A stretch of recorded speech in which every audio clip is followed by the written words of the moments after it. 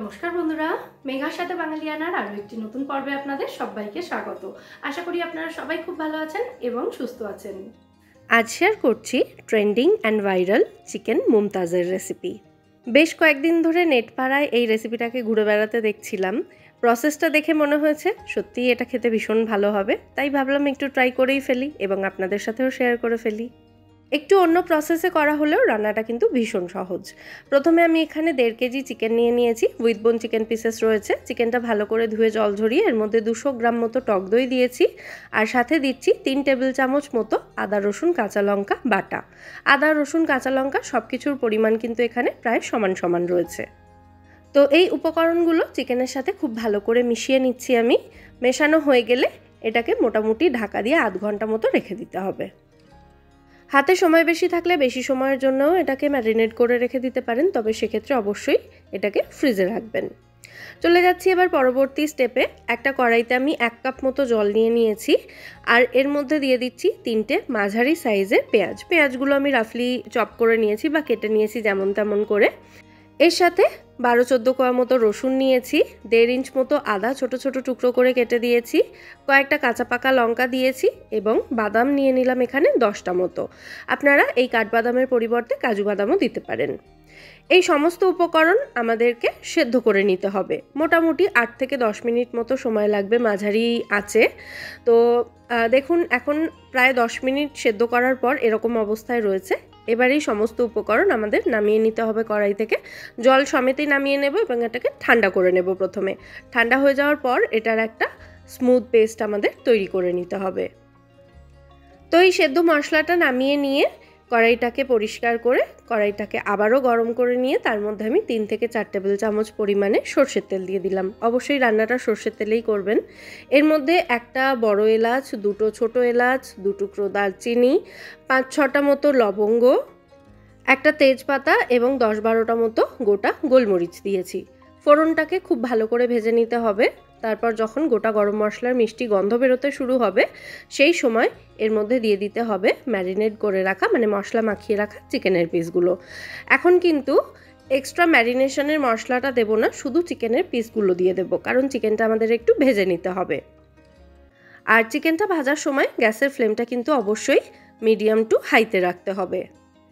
লো ফ্লেমে রাখলে এই সময় চিকেন থেকে প্রচুর পরিমাণে জল বেরোবে এবং চিকেনটা কিন্তু ভালো মতো ভাজা যাবে না।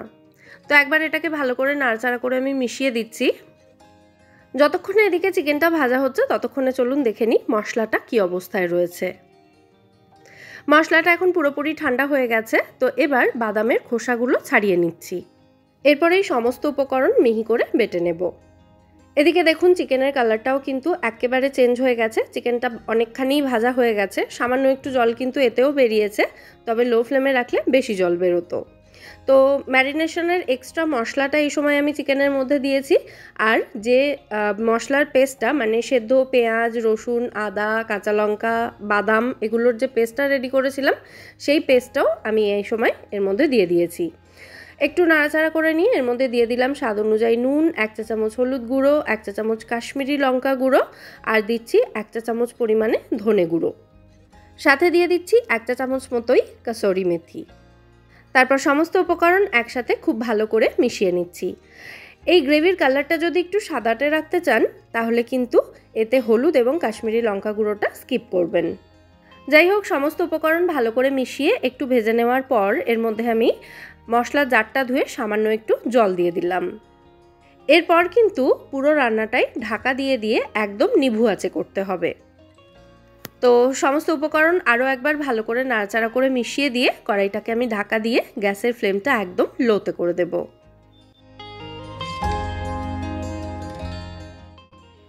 প্রায় কুড়ি থেকে পঁচিশ মিনিট মতো একদম লো ফ্লেমে রান্না করার পর কড়াইয়ের ঢাকনাটা আমি খুলে নিয়েছি। এখন দেখতেই পাচ্ছেন মশলা থেকে কিন্তু তেলটা পুরোপুরিভাবে ছেড়ে গেছে। তো আরও একবার এটাকে আমি ভালো করে নাড়াচাড়া করে মিশিয়ে দিচ্ছি।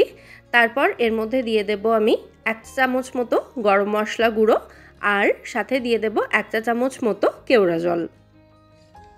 কেওড়া জলটা অবশ্যই দেওয়ার চেষ্টা করবেন, কারণ এতে কিন্তু একটা শাহি ফ্লেভার আসবে চিকেনে সমস্ত উপকরণ আবারও একবার খুব ভালো করে নাড়াচাড়া করে মিশিয়ে দিচ্ছি।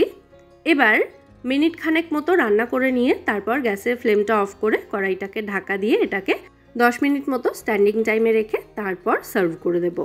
যে কোনো ধরনের রুটি পরোটা হোক অথবা ফ্রাইড রাইস, পোলাও, এগুলোর সাথে এই চিকেনের প্রিপারেশনটা খেতে কিন্তু জাস্ট দুর্দান্ত লাগবে। নামটা শুনেই আমার ভীষণ ইন্টারেস্টিং লেগেছিল। জানি না এর নাম চিকেন মুমতাজ কেন দেওয়া হয়েছে।